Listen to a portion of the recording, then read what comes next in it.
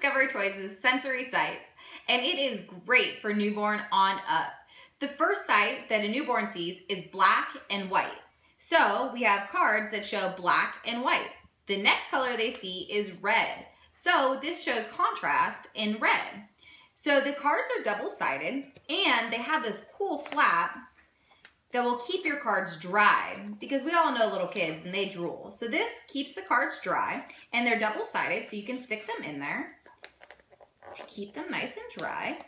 It has a rattle on the inside and different textures throughout the box.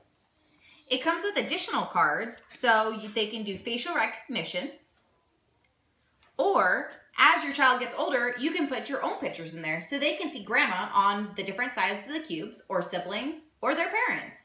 Great for travel, and if you go away and you leave the kids with grandma, they can still see your picture. This is Discovery Toys' Sensory Sights.